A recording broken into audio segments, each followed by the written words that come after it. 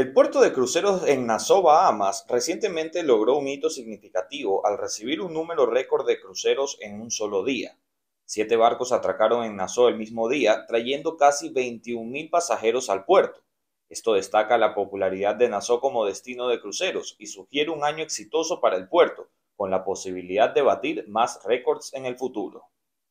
La industria de cruceros en Singapur también muestra signos de recuperación. La ciudad-estado celebró recientemente a su pasajero número 2 millones en la temporada actual de cruceros, que se extiende desde abril de 2023 hasta marzo de 2024. La afortunada pasajera fue la señora Octavia Tosic, quien se embarcó en un corto crucero de dos noches a Kuala Lumpur con Resorts World Cruises. El sistema de trenes de pasajeros Bright Line se ha expandido. Una nueva estación está ahora abierta en el Aeropuerto Internacional de Orlando. Se planea otra estación para Coco Beach, a solo 10 kilómetros de Puerto Cañaveral. Una vez completado, el tren ofrecerá un viaje de 30 minutos desde el aeropuerto hasta el puerto. Esto crea más opciones de viaje para los cruceristas, permitiéndoles potencialmente alojarse en un hotel de playa antes de un corto viaje en autobús hasta el barco. Aún no hay una fecha de apertura confirmada para la estación de Coco Beach. Los pasajeros que se embarcan en cruceros desde Galveston, Texas, pueden encontrar algunos retrasos. Se mencionan problemas de tráfico alrededor de las terminales 25 y 28 del puerto. El área está experimentando mucho tráfico, probablemente debido al aumento de cruceros. Las autoridades del puerto están al tanto del problema y están trabajando en soluciones, como la creación de rutas alternativas para camiones de provisiones y la ampliación de las opciones de estacionamiento cerca de las terminales.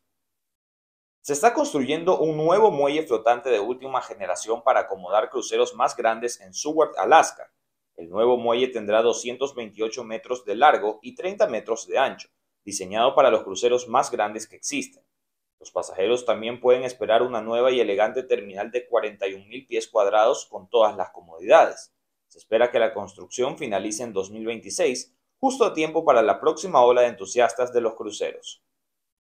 Royal Caribbean refuerza los beneficios para cruceristas leales. A partir del 15 de marzo de 2024, los miembros Pinnacle del programa de fidelidad Crown and Anchor Society pueden llevar a un invitado a áreas exclusivas como el Concierge Lounge y Coastal Kitchen en todos los viajes. Este beneficio permite a los pasajeros leales compartir momentos especiales con sus seres queridos, pero el acceso está sujeto a disponibilidad y pueden aplicarse algunas restricciones. Clive Palmer, un multimillonario australiano, desempolva su antiguo sueño de construir una réplica del infame Titanic. Este Titanic 2 se construirá con estándares de seguridad modernos, pero tendrá como objetivo capturar la atmósfera lujosa de la experiencia de crucero de principios del siglo XX. Todavía no se sabe nada sobre precios o itinerarios. Antes de continuar con la siguiente tanda de noticias, te quiero invitar a que revises la descripción de este video si es que estás buscando un lugar de confianza para poder reservar tus excursiones en cualquier destino en todo el mundo. Se llama Viator y está disponible en la descripción de este video. El nuevo crucero Sun Princess se enfrentó a un contratiempo en su viaje inaugural. Se suponía que el barco haría escala en el popular destino de Santorini en Grecia el 16 de marzo. Sin embargo, debido a problemas técnicos con el servicio de tenders, no puede atracar allí. El tendereo se refiere al proceso de utilizar embarcaciones más pequeñas para transportar pasajeros desde el crucero principal hasta la costa cuando el barco mismo no puede atracar en el puerto. Esto a veces es necesario debido al tamaño del puerto o la profundidad del agua. Se informó a los pasajeros que las dificultades técnicas impedían que el servicio de tenders estuviera listo. Como resultado, el Sun Princess tuvo que saltarse el Santorini y dirigirse a otra ciudad griega no especificada. Quiero aprovechar esta noticia para las personas más nuevas que nunca han viajado incluso en crucero, en comentarles que no siempre van a poder llegar a un puerto, a un muelle, sino que a veces el barco tiene que bajar ancla y con los botes salvavidas o con servicios de embarcaciones más pequeñas pasar a los pasajeros lógicamente hasta el puerto para que puedan hacer el recorrido. Y esto, como bien decía la nota, se debe principalmente a que a lo mejor el barco es muy grande, que normalmente no es el caso porque definitivamente el problema principal es que las aguas no son muy profundas, entonces no se puede llegar hasta cierta ubicación. Incluso en mi primer crucero, cuando yo me fui a Brasil, me tocó eso de ahí y la verdad es que no sabía que había eso de allí. Entonces, puedes ya como ir imaginándote que no siempre vas a llegar a un puerto donde literalmente te bajas del barco y ahí está ya el puerto, sino que te tocará subirte a un bote salvavidas o a una embarcación, hacer un tramo de unos 5 minutos para llegar ya ahora sí a la orilla y ahí empezar el recorrido. Esto es muy normal, que no, no pienses que algo está mal, no vayas a pensar que, está sucediendo algo fuera de lo común, es muy normal dependiendo del puerto y lógicamente puedes preguntar por este tipo de situaciones, por este tipo de cosas en las recepciones, en guest services de cualquiera de los barcos en el que vayas a navegar y que te quedes tranquilo, tranquila de que no pasa absolutamente nada. Disney Cruise Line presentó emocionantes itinerarios para el verano de 2025. Disney Fantasy realiza su primer viaje al Mediterráneo partiendo de Barcelona y Civitavecchia para vivir aventuras en el norte de Europa y el Mediterráneo. Disney Wonder regresa a Alaska para cruceros desde Vancouver, Canadá, ofreciendo aventuras de mayo a septiembre. Para escapadas tropicales, Disney Magic, Disney Wish y Disney Dream ofrecen viajes por el Caribe y las Bahamas saliendo desde Florida.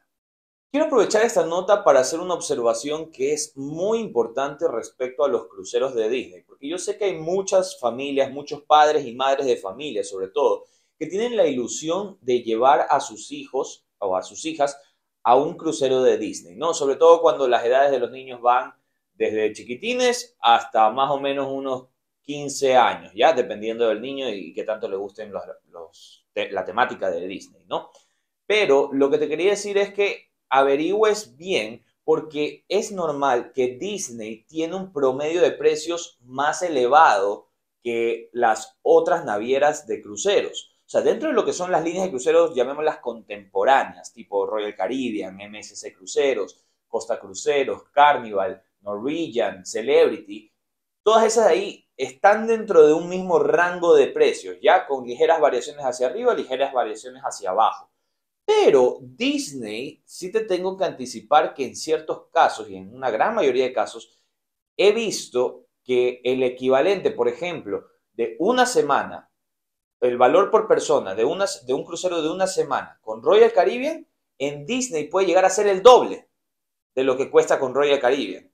Entonces tienes que averiguar bien, porque yo sé que hay muchísima ilusión, pero la realidad es que Disney es más caro que el promedio. Entonces apuntan también al, o sea, por supuesto apuntan al target familiar, pero también apuntan a un target con cierto poder adquisitivo, con cierto estatus económico, llamémoslo así. Entonces, que averigües bien antes de, eh, lógicamente, hacerte muchas ilusiones, porque he visto cómo algunas personas se les rompen las ilusiones cuando ven la cotización del crucero Disney. Entonces, eh, simplemente te lo quiero anticipar para que ya tengas como este, esta información como contexto de lo que sería reservar, por ejemplo, Royal Caribbean versus Disney. Hay buenas noticias para los cruceros en Asia. Después de una pausa, MSC Cruceros ha reiniciado sus operaciones en China. El crucero MSC Bellísima zarpó nuevamente desde Shanghai el 15 de marzo marcando la reanudación de los cruceros en la región. Este reinicio es una señal positiva para la reactivación de la industria de cruceros en Asia. Con la llegada de las vacaciones de primavera, Carnival Cruise Line les recuerda a los pasajeros sus políticas a bordo. La línea de cruceros envió una comunicación detallando las pautas para un comportamiento responsable.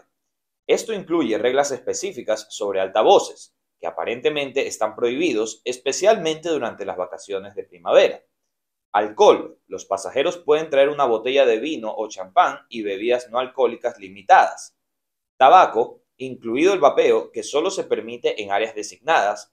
Marihuana y cualquier derivado, incluido el CBD, y seguridad personal. Los pasajeros son responsables de su propia seguridad y de seguir las medidas de seguridad como usar pasamanos y usar calzado adecuado quiero aprovechar esta nota para reforzar dos temas. Primero que nada, decir que cada una de las cosas que se enumeraron durante la nota son los temas principales sobre los cuales Carnival dio los pasos, digamos, como las políticas respecto a cada uno de esos temas. Entonces, por ejemplo, en el tema de los altavoces está ahí descrito que no, no se puede llevar altavoces porque lógicamente cuando son estas vacaciones de primavera, vacaciones de verano, la gente tiende a, digamos, a, mucha fiesta, mucha música, mucha parranda.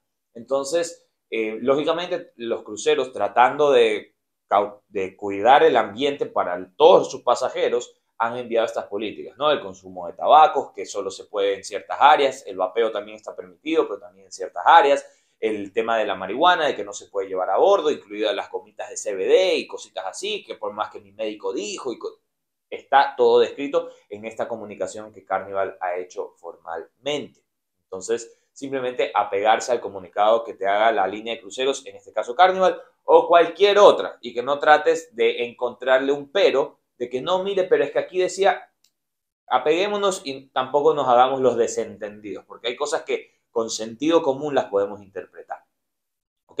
Eso es lo primero que quería decir. Lo segundo es que también está comenzando la subida de precios para que tengas eh, contexto en las cotizaciones. Sobre todo cuando se vengan las, las famosas vacaciones de verano en Estados Unidos, allí es cuando los precios están en su más alto.